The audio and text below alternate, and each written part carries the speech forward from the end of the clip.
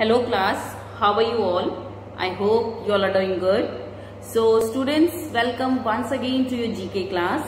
I, Achal Singh, welcoming you all once again to your GK class. So students, we were doing unit number 5 of our GK and today we are going to discuss one of the chapter from the same unit number 5 that is a word game find a phrase okay so that is given at page number 77 so all of you are requested to open your books at page number 77 that is find a phrase. Find a phrase okay? So i'll just write on the topic on the board and you all of you just open your books. The name of the chapter is find a phrase find a phrase given at page number 77 page number is 77 so what is the meaning of phrase? देखिए chapter discuss करने से पहले first of all you must know that what are the phrases phrases means जो कि हम कहते हैं ना कि हम मुहावरे कुछ यूज़ करते हैं कि आ, कोई भी सिचुएशन को एक्सप्लेन करने के लिए। तो in spite of telling directly हम क्या करते? वी यूज़ द मुहावरे so we use the phrases sorry हम क्या यूज़ करते? We use phrases okay so phrases use करते हैं जैसे कि आप कोई भी हम जैसे कहते बात को गोल गोल मत घुमाओ। ठीक है? सीधी सीधी बात बताओ। बात को गोल गोल मत घुमाओ। तो दैट पर्सन अंडरस्टूड कि we are talking about the thing कि वो कोई भी बात को गोल गोल ना घुमाए वही कोई भी चीज़ गोल गोल मतलब घुमा के बात ना करे। डायरेक्ट बताइए क्या बात है? That what are you thinking okay so that means कि बात को गोल गोल घुमाना। ओके सो so, बहुत सारे अलग फ्रेजेस भी हैं कि उसका तो पारा हमेशा हाई रहता है। उसका तो हम कहते हैं ना कि उसका पारा तो हमेशा हाई रहता है। तो what is the meaning of पारा हाई रहने का? मतलब बात क्या? कि मतलब वो हमेशा गुस्से में ही रहता है। और ही और शी हुआ जिसके बारे में भी हम बात कर रहे हैं वो हमेशा गुस्से में ही रहता है। So these are the phrases that we are using for explaining a certain situation और द सर्टेन थिंग कोई भी चीज़ को एक्सप्लेन करने के लिए जब हम कुछ फ्रेजेस कुछ मुहावरे यूज़ करते हैं so that it is clear that what about what we are talking about okay so starting with the first one Place the words in the correct order to fill in the blanks with the right phrase.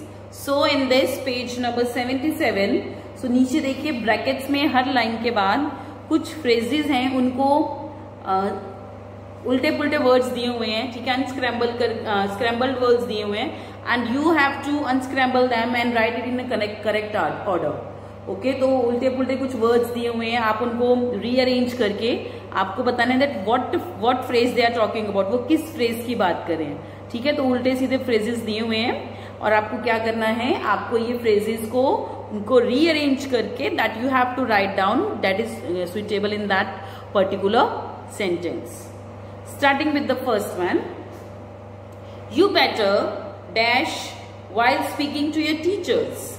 Your mind your mind pq's and p's okay? So you better mind your p's and q's ठीक है? You better mind your p's and q's p's and q's means ये use किया जाता है कि अगर जब जैसे क्वेश्चन लाइन है you better mind your p's and q's while speaking to your teacher जब आप अपने टीचर से बात कर रहे हैं तो जस्ट जस्ट दिमाग में ये बात रखिए कि you are speaking to your teacher so you should be humble you should be using the correct words you should not be using the vulgar words. You should not be using the incorrect um, मतलब respectful respectful word should be use तो मतलब when you are speaking to your teacher so you should be very calm you should use the मतलब जो आप words use करें उनसे बात करते हुए वो अपने ध्यान रखिए कि यू आर कहते हैं ना बड़े से बात कर रहे तो, तो हम अगर कोई गुस्से में कभी कुछ बोल देता है तो कहते तमीज से बात करिए। आप आप अपने से बड़े से बात कर रहे हैं। So that means you must mind your p's and q's इसको बोला जाता है Ps and chaos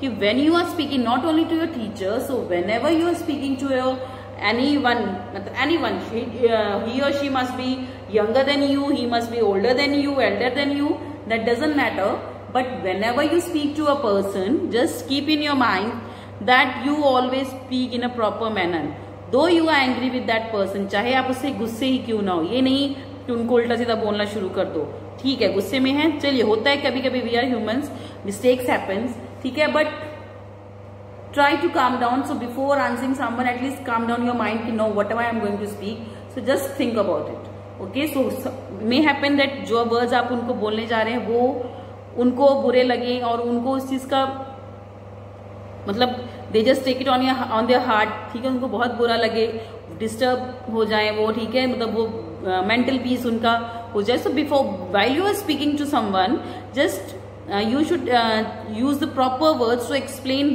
whatever you want to see okay चाहे आप अच्छा बोलने जा रहे हैं चाहे आप उससे गुस्से हैं या कुछ भी हो। So you just mind your words while speaking so starting with the first that is your better mind your peas and cows while speaking to your teacher. So the answer of the first one is mind your peas and cows. That is of the first one. Mind your peas and cows. Mind your peas and cows. So when you are speaking to your teacher, you better mind your P's and Q's. Okay? Second one. It is a secret that, sorry, it is a secret you are supposed to keep please do not let the of cat bag the out that will be cat out of the bag suppose किसी ने आपको अपनी कोई बात बताई है, कोई secret बताया है, उसने आपसे बोला कि ये सीक्रेट है प्लीज़ ये किसी को मत बताइए, क्योंकि अगर ये किसी को पता लग गया तो it will be a problem for me तो someone has told you that please don't मतलब इस बारे में किसी को मत बताइएगा, ये सीक्रेट है. This is a secret okay so now the question is it is a secret you are suppose to keep please do not let the cat out of the box. So this is the proverb और this is the phrase that is being use okay कि मतलब ये मेरी एक ऐसी बात है जो एक सीक्रेट है. You should keep it as secret ज़रूरी नहीं है किसी की बात हो. Sometimes they are confidential matters of the family of the institute in which you are working और in which you are studying so sometime it is set that you must not leak that information आपको वो information publicly announce नहीं करनी है. तो कुछ बातें होती हैं जो कहा जाता है कि नहीं आपको आप, ये हम आपस में जैसे हम अपनी फैमिली की बात करें. Some of the matters of our family you we we never let others to know about the problems of our family आपको कभी अच्छा लगेगा कोई आपकी फैमिली की प्रॉब्लम्स के बारे में बात करे और कहेगी वो आपके घर में तो ये प्रॉब्लम है, ये प्रॉब्लम है. Obviously that will not be good okay so you always want that you want to keep the secret of your family और the matters of your family secret जो जितने भी मैटर्स है आपकी फैमिली में, कोई भी इशू है, देखिए everybody has some issues okay every family has issues in the world आपकी हो, मेरी हो, किसी की भी हो हर की सबकी फैमिली में कोई ना कोई इश्यूज़ कुछ ना कुछ प्रॉब्लम्स होती हैं। But what we do we never let the others to to know about them उनको हमारी फैमिली के बारे में बताना लगे। ठीक है? तो वैसे ही ऐसी चीज़ के लिए ये प्रोवर्ब यूज़ किया जाता है जैसे it is a secret you are suppose to keep ये एक सीक्रेट है ये एक आ, um, राज है जो आपको रखना है। हम आ, हम आपसे क्या कहते हैं हम आपसे एक्सपेक्ट करते हैं कि आप इस बात को राज़ी रखेंगे। Do not let the cat of the box तो कैट को बॉक्स से बाहर मत आने दो। सो so, इसका ये मतलब नहीं है कि बिल्ली को उसमें से बाहर नहीं आने देना इट मीन्स कि जो बात है उसको हम चार लोगों के बीच में है तो वो चार लोगों के बीच में ही रहनी चाहिए। इन चार लोगों के बीच से बाहर नहीं आनी चाहिए। सो द कैट यहाँ पे कैट को हम क्या डिनोट करें? That is a secret okay box means four people so don't let that secret come uh, come out of from the four people उन चार लोगों के बीच में से ये बात किसी और को ना पता लगे okay so don't let the cat out of the box the cat is the secret so we treat secret as the cat box as the four people and out of the box तो हमारी चार लोगों में से ये बात बाहर ना आए so don't let the cat out of the box don't let the cat out of the box तो कैट के बिल्ली से नहीं तो जो बात है जो सीक्रेट है don't let it come in front of the others okay just keep it keep it between ourselves only so the answer of the second one is is a secret you are supposed to keep. Please do not let cat out of the bag. Not box it is out, out of the bag. Cat out of the bag. The second one is get out of the bag. Get out of the bag. Third one. The horror film gave me the GB's heebie. So I just watch the horror movie मैंने अभी एक horror movie देखी। कहते ना और उसके scenes देख के मेरे रोंगटे खड़े हो गए। So we use to these we use these words कि ऐसी मैंने एक मूवी देखी कि जिसको देखते ही मेरे रोंगटे खड़े हो गए। रोंगटे मीन्स कि वी जस्ट uh, मतलब डर जाना कि मतलब डर के मारे रोंगटे खड़े हो जाना। So that means that gives me the heebie jeebie इसको हम बोलते हैं हिबी जीबी ओके सो अगर कोई ऐसा कोई चीज़ है जिसको सडनली आपको देख के आप एकदम से चौंक जाएँ ओके या एकदम से डर जाए ठीक है? मतलब एक sudden reaction when you give a sudden reaction और when you feel a sudden मतलब एक ऐसा झटका सा लगता है कि देन यू जस्ट वो नो व्हाट हैपेंड ठीक है? कभी हम सड़क पे जा रहे हैं, एकदम से कोई गाड़ी सामने आया थे तो एकदम सबके एक बार थोड़ी देर तक हार्ट में होता रहता है ना कि शुक्र है, बच गए, नहीं टकराए ओके इट इट हैपन्स बेटा। So everybody it happens to everybody so just these are the heebie बीजी की मतलब हिजी बीजी मीन्स की heebie jeebie that means so, suddenly something happened that you didn't expect it to happen. And when you came to know about it, you just feel so मतलब आपको एकदम से अपनी body में ना बॉडी में करंट दौड़ गया you just feel the heebie jeebie मतलब कहते हैं ना, शरीर में करंट दौड़ मतलब करंट दौड़ना भी दर्द कि इलेक्ट्रिसिटी वाला करंट कि एकदम से बॉडी में कुछ झंझनाहट सी महसूस महसूस होने लग जानी। Okay so that is the horror film gave me the heebie jeebie तो जैसे ही मैंने वो हॉरर मूवी के कुछ सीन्स देखे तो मेरे रोंगटे खड़े हो गए I just feel the heebie jeebie तो I just feel the he heebie jeebie okay so this is the answer of the third one that is I feel heebie jeebies H double E B I E B jeebies J double E I E S. I feel the heebie-jeebies in my body. Chali. This is the third one. Now moving next to the fourth. When I received the first prize in the competition, I was on or okay, I was cloud on nine. No, it will be I was on cloud nine. जब मैंने class में first prize जीता तो मैं जैसे देखिए यहाँ पे क्लाउड नाइन में नौवे आसमान पे है जैसे हमको है कि सातवें आसमान पे ओके सो इसको हम as a phrase we use it as a con a cloud nine तो जब मैंने क्लास में फ़र्स्ट प्राइज जीता तो I was on the cloud nine that means that you felt so happy कि कहते ना कि पाओ ज़मीन पे ना पड़ना, कि हवा में कहते ना, हवा में रहना मतलब you are so happy that you मतलब आपको कुछ रियलाइज़ ही नहीं हो रहा है, आपको लगा कि दुनिया की सबसे बड़ी खुशी मिल जाना।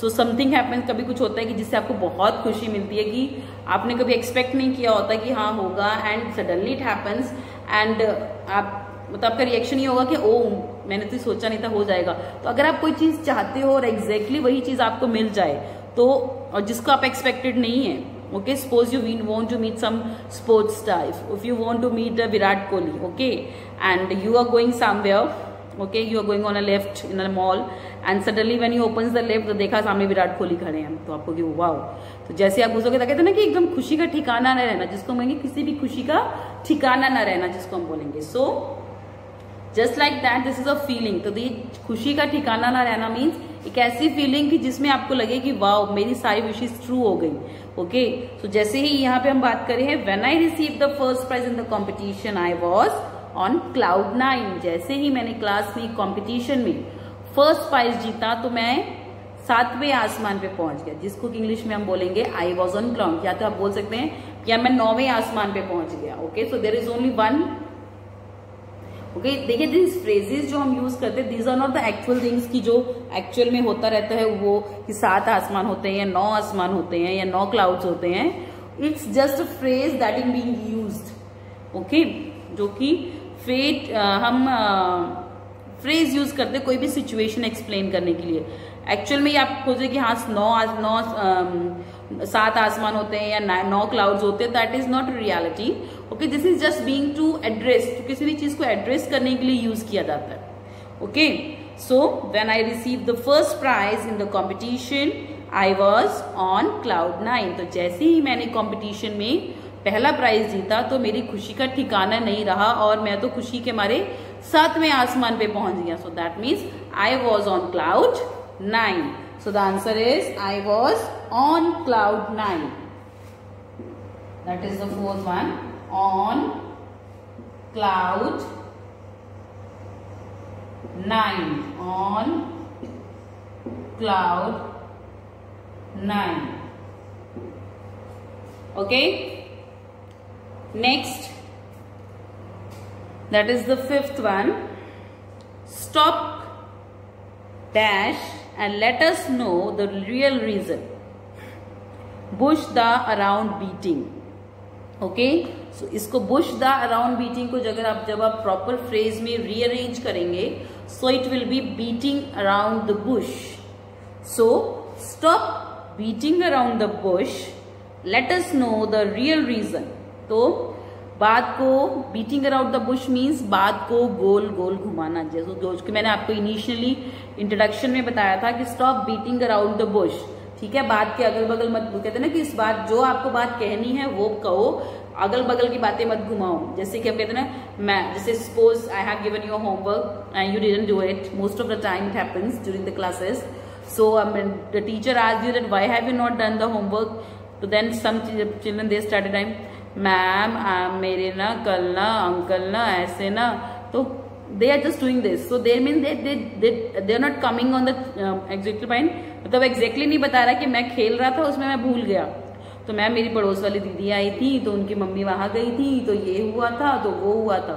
So this is what we call it beating around the bush कि अगल अगल अगल जो मेन बात है उसको छोड़ के, उसके अगल बगल पूरी बात घुमाना कि ऐसे हुआ था, फिर वो हुआ था। मतलब you are explaining not required मतलब जो चीज़ें, जिस चीज़ की ज़रूरत नहीं उस चीज़ को एक्सप्लेन कर रहे हो। Okay so that means so so here the question is stop beating around the bush and let us know the real reason तो बात को गोलगत मत मत घुमाओ। मतलब अगल बगल की बातें इधर उधर की बातें छोड़ के मुझे सच में सही रीजन बताओ कि दैट आपने ये काम क्यों नहीं किया।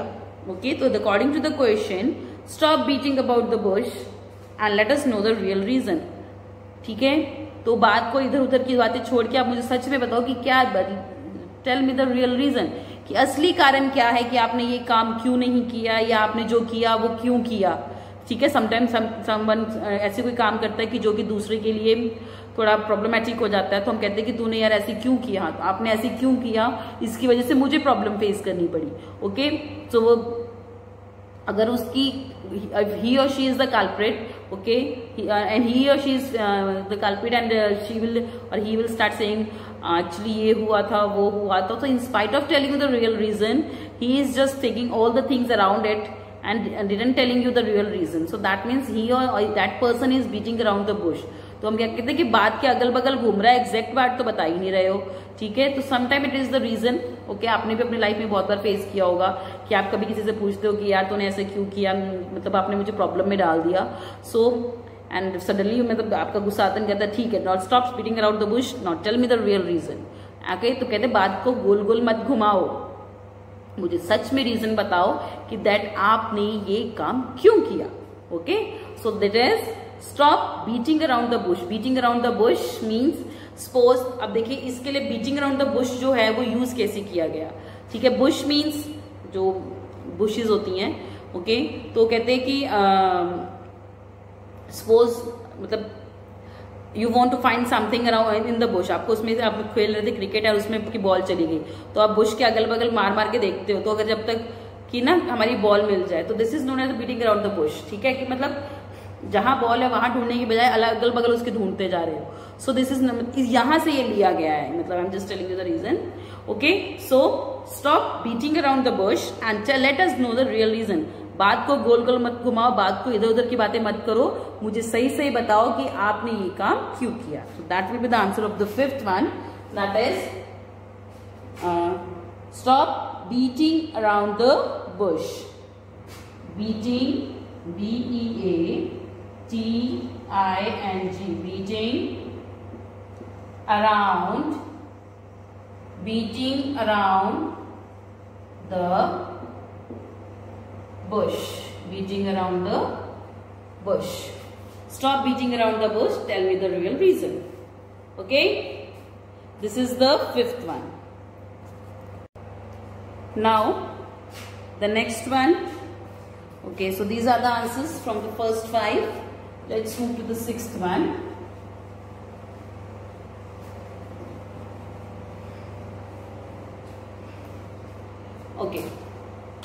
now the sixth one is, she is so short tempered she always has an x to grind. वो इतनी गुस्से में मतलब उसको इतनी जल्दी गुस्सा आता है। शॉर्ट टेम्पर्ड मीन्स इतनी जल्दी गुस्सा आता है। देखिए, आपके पास okay the she is so short tempered she always has an to axe grind to axe grind mean नहीं होगा it will be and she always has an axe to grind ठीक है, वो इतनी गुस्से में रहती है कि हमेशा बस कितना तलवार चलाने के लिए ध्यान मतलब तैयार रहती है कि मतलब she is so short tempered कोई से कुछ छेड़ दे, बस वो कहते काटने को, कहते हम कहते ना, काटने को दौड़ती है। तो दैट डजेंट मीन कि वो आके सच में आपको काट लेंगी। दैट मीन्स कि वो आप पे इतना गुस्सा करेंगी कि दैट यू विल फील कि आपको बहुत बुरा लगेगा ओके तो वो हमेशा गुस्से में रहती है okay so she is so short tempered वो इतनी गुस्सैल है, उसको इतनी जल्दी गुस्सा आता है कि वो हमेशा उसका ध्यान रहता है कि जो भी आए, बस उसको, जो भी उसके सामने आ रहा है, उसको छोड़ती नहीं है, बस उसको शुरू हो जाती है कि तुमने ऐसा क्यों किया, ये, वो मतलब she is so short tempered okay so she always has axe to grind तो हम, ऐसा लगता है कि हमेशा उसके पास तलवार तैयार रहती है। एक्स मीन्स हथो कुल्हाड़ी कुल्हाड़ी को पीसने के पीसना। ओके सो वो इतनी शॉर्ट टेम्पर्ड है तो हमेशा बस वो तैयार रहती है कि कब उसे कोई छेड़े and she is ready to beat that person और she is ready to just मतलब उस पर चिल्लाने के लिए तैयार रहती है। So that means she is always ready to fight with that person okay so she is so short tempered she always has an axe to grind that is six one that is axe to grind she always has an x to grind seventh one she arrived just nick the time of in okay she arrived just in the nick of time okay in the nick of time means कुछ ही देर में okay तो कहते जैसे उसकी ज़रूरत पड़ी and वो तुरंत वहाँ पहुँच गई। तो someone who just appeared suddenly in the in his needs so that is she arrive just in मतलब वो अभी दो मिनट के अंदर वहाँ पहुँच गए तो so, जैसे कि हम पूछे ना कि कहाँ हो? कहते हाँ बस यही हूँ। Then just she arrived right away within two minutes. Okay? So she just just just in a nick of time. तो वो तुरंत वहाँ पहुँचे। निक ऑफ़ टाइम मीन्स तुरंत मतलब जल्द से जल्द कहीं पहुँचना। ओके तो she arrive just in the nick of time suppose you the go to the doctor मतलब कभी हॉस्पिटल्स में होता है कि एमरजेंसी केसेस आ जाते हैं.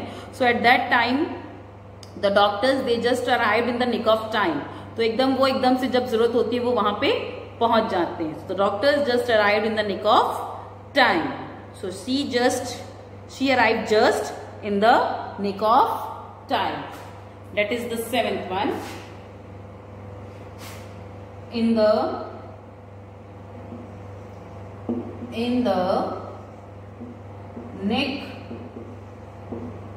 of time so she just arrived in the nick of time जैसे उसकी जरूरत पड़ी या जैसे ही उनको बुलाया गया she just arrive in the nick of time next eighth one My sister is a very organized person. Her room is always and spick span so her room is always spick and span तो मेरी जो बहन है she is so organise person organise means जो अपना हर काम तरीके से करता है।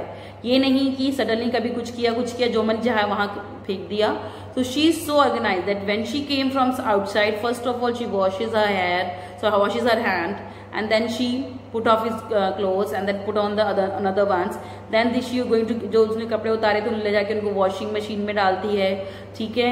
शूज़ है उनको प्रॉपर प्लेस पे टिफ़िन निकाल के सिंक में and all this thing so मतलब अगर वो कहीं बाहर से आ रही है तो okay so that is she is so organise उसको पता है कौन सा काम कब कहाँ कैसे करना है। ये नहीं कि आए कपड़े फेंके दूसरे कपड़े पहने शूज़ वहीं उतार दिए टिफ़िन बैग में ही है ये वो।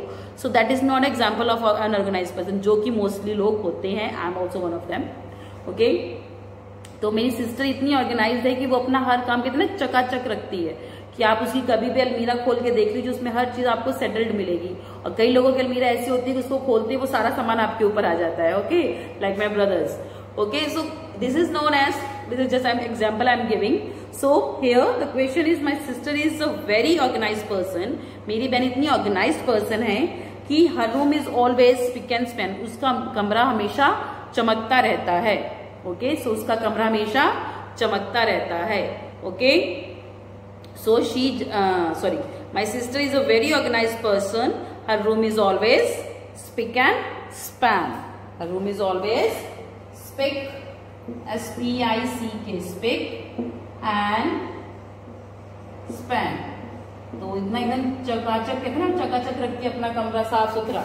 ठीक है, हम कहते हैं ना, किसी के अलमीरा कई लोग होते हैं जो एकदम साफ़ सफ़ाई से रहते हैं। उनका हर चीज़ एकदम ऑर्गेनाइज होती है। कई आपने देखा होगा, अलमीराज टीचर्स के अलमीराज आप देखते हो कई टीचर्स होते एकदम साफ़ सुथरे, जैसे ओपन करेंगे हम, सब कुछ प्रॉपर प्लेस में पड़ा होता है। कई बच्चे भी घर पे मैंने देखे हैं कि स्टडी टेबल की सारी बुक्स अरेंज करके रखिए एकदम साफ़ सुथरा। मतलब देखिए they just keep on doing the dusting on the time okay so that means this is मतलब कोई भी चीज़ एकदम साफ़ सुथरी रखना, एकदम अच्छे से रखना। That is known as spick and span next he was late for the school so he dash the breakfast and rushed out okay that is down wolf okay he was late for school so he is wolf down the breakfast and rushed out okay वो school के लिए late हो रहा था, इसलिए फटाफट उसने अपना नाश्ता खाया एंड भागा। मतलब वॉल्व डाउन मीन्स मतलब नाश breakfast suppose you're reading bread in the breakfast उसको कहते हैं बस मुँह में ठूसा और भागे, जिसको हम बोलते हैं ठूस के भागे हैं। कि खाया नहीं है इंस्पाइट ऑफ़ च्यूइंग उसको आराम से बैठ के खाने में तो कहते हैं फटाफट मुँह में बस डाला